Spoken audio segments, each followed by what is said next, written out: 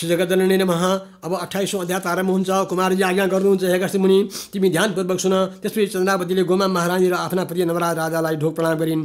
बहिनी लावण्यवतीले चन्द्रावती महारानीलाई ढोक गरिन्। अनि चन्द्रावती लावण्यवतीलाई स्वस्ति भनी शुभाशीर्वाद दिएपछि आफ्नो आसन ग्रहण गरे। आफ्ना गुरु पुरोहित र मन्त्रीहरूलाई अघि राखी राजा नवराजले अति प्रसन्न भई चन्द्रावतीको मुहारीले छक्क परि सोधे हे स्त्री मैले तिम्रो मुख नदेखेको आज यतिका वर्ष भइसक्यो। फेरि तिमीलाई ल्याउन डोलीहरू पठाएको थिएँ। ती डोलीहरू पनि आजसम्म फर्केर यहाँ आएनन्। तिमीले पनि आउन धेरै विलम्ब गर्यौ म राजा भएको तिमीले थाहा पाएनौ कि? मैले त राज्यको कार्यभार तिमीलाई बिर्सिराखेको थिएँ। फेरि शाल नदीको तटमा एक्लै किन बसेकी? मैले लाउन देशका प्रजा गर्ने भनेर थाहा पाएँ। तिमी पनि पहिले जति छैनौ अत्यन्त तेजवती भइछौ आफ्नो सबै वृत्तान्त सुनाऊ। यदि आफ्नो स्वामी नवराज राजाले सोधेपछि प्रश्न भएकी चन्द्रावती दुई हात जोडी भन्न लागिन् हे स्वामी म म माइतमै बसिरहेकी थिएँ। हजुरले डोली पठाउनु भएछ। उनीद्वारा हजुर राजा भएको समाचार पाएकी हुँ। माता सहित बिदा मागी डोलीमा बसेर कहिले हजुरको दर्शन होला भनी म हतपताइरहेकी थिएँ। संयोगले त्यो दिन माघ शुक्ल पूर्णिमा रहेछ। त्यहाँ आउने बाटोमा एउटा ठुलो जङ्गलको छेउमा नदी रहेछ त्यहाँ स्वर्गबाट अप्सराहरू आए। श्री श्री स्वस्थानी परमेश्वरीको व्रत गर्न लागेको डोलीहरू देखेछन्। उनीहरू डोली अडाइ हामीलाई भोग लाग्यो त्यहाँ पर केही पाए खाएर आउँछौँ। तपाईँ एकछिन यहीँ बस्नुहोस् भनी मलाई वनमा एक्लै छोडी अप्सराहरूले व्रत गरेको त स्थानमा गएर उनीहरूको संसर्गमा पूजा गरेर प्रसाद ल्याए आएर प्रसाद दिए। त्यस बेला मलाई अहङ्कार छोप्यो र डोलीबाट बढ्ने डोलीहरूको हातबाट प्रसाद खुसी थुथु गरेर थुकेर खुट्टाले खुल्ची मिलाइदिए।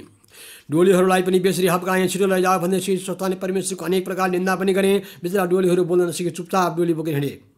स्वारी नदीमा आइपुगेपछि खोलातिर यताउता यताउता आउन लाग्दा अकस्मात चन्दुबा टाँगे जस्तो मेघ का साथ साथ ही हुई आयो। म डोलीबाट लडेर साली नदीमा परेँ। डोलीहरूको के गरी भयो केही थाहा भएन। मेरो शरीर कहीं मूर्छा होने कहीं सेत आउने भयो। म यस्तै हुँ भन्ने पनि शुद्धि हराई पापको सागरमा नरक भोग गरिरहेँ। म खानपान शुद्ध नपाएँ सुक्क न म खानपान समेत नपाएँ भोग प्यास र शीत तापका कारण कहिले चेत हुने त कहिले अचेत हुने भइरहेँ मलाई देखे दया गर्ने कोही थिएन। म मुडो जस्तो लडिरहन्थेँ एक दिन कपिल नामका ब्राह्मणहरू राजाको लोक भोजनमा जान भनी आएको देखि मलाई पनि केही खानेकुरा मागेर ल्याइदियो भनी बिन्ती गरेँ।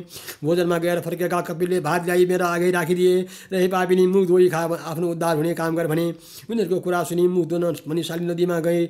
मुख धुन खोजेका बखत साली नदी सुकेर गयो। त भोक खान नसके खान खोजेँ। तर भात पनि खरानी भयो।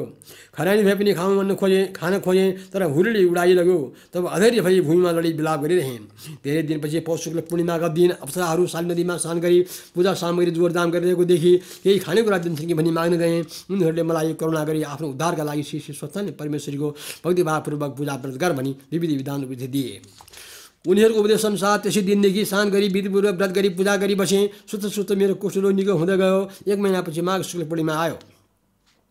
अप्सराहरू व्रत पूजा गर्न त्यहीँ आए श्री स्वामी। महिना दिनमै श्री स्वस्थ परमेश्वरीको व्रतको प्रभावले खाना लाउन बाटोमा हिँड्नेहरूले दिन थाले। रोग निको भई हात खुट्टाहरू पहिलेका जस्तै हुँदै गए। अवस्थाहरू देखेपछि नजिकै आएर आफू पनि महिना दिनदेखि व्रत बसेको र व्रत पूर्ण गर्न आफूसँग केही सामग्री नभएको कुरा बिन्ती गरेँ।